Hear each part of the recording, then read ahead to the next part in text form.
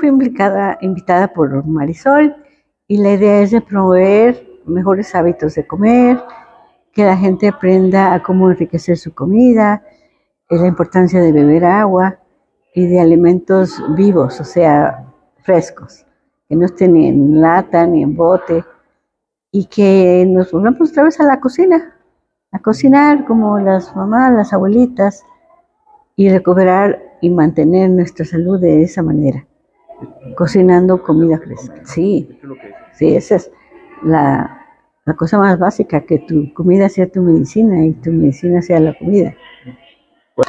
Bueno, lo que he observado aquí es eh, la falta de vegetales frescos en la comida. Es eh, mucho énfasis en carne, tortillas, en salsas y refrescos, desafortunadamente, muchos refrescos en lugar de agua. El agua no es necesaria, es indispensable.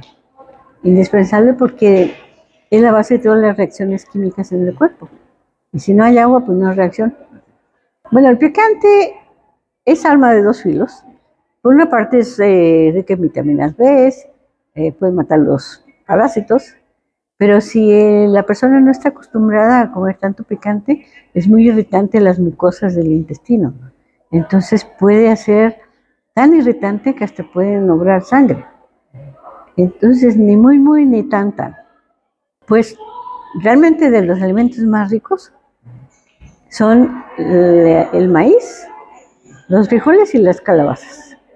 De hecho, los aztecas tenían una manera de sembrar las tres hermanas, le llamaban.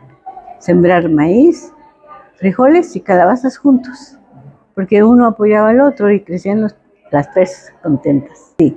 En este lugar tenemos abundancia de sol, agua y tierra fértil. Entonces, ¿por qué no usar los espacios en casa o los techos para poner macetas, poner árboles frutales. Y pues yo en mi casa tengo una casa con un jardín grande y pensé, en lugar de estar echando agua al pasto, mejor le voy a echar agua a cosas que me pueda comer.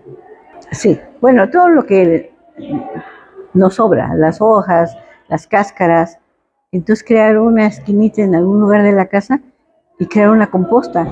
Entonces, pues esa, ya que está desintegrado, incorporarlo a la tierra entonces no se desperdicia nada.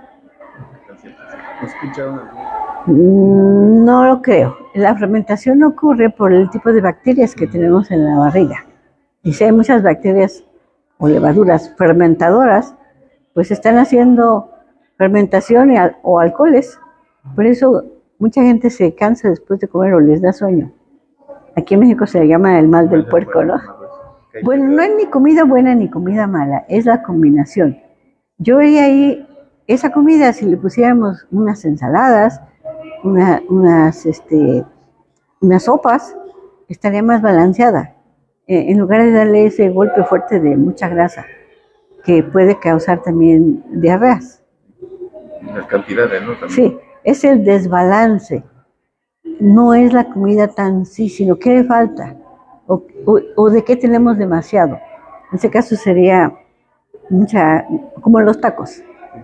Es tortilla y carne y poquito de salsa. Y creen que el perejil de la salsa es el vegetal. Eh, no, como que falta mucho. Falta mucho. Entonces lo más balanceado sería... Muchos colores. Muchos colores. Muchos colores. Bueno, me refería a las comidas procesadas. Eh, hay muchas comidas adulteradas o procesadas que tienen eh, sabores artificiales, colores artificiales o ingredientes de muy poca calidad. Entonces, esos ingredientes, el cuerpo no sabe qué hacer con ellos. Entonces, hace 100 años pues, no había margarina, no había Crisco, no había este, Oreos. Sí. sí.